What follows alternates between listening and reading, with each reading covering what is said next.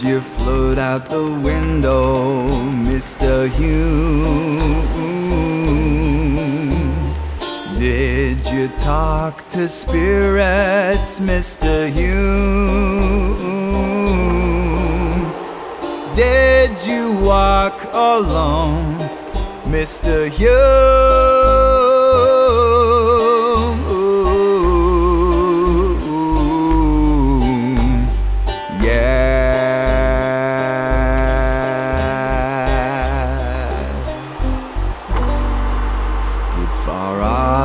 Come to see you, Mr. Hume? Did Mr. Hawthorne believe you, Mr. Hume? Did you walk alone, Mr. Hume?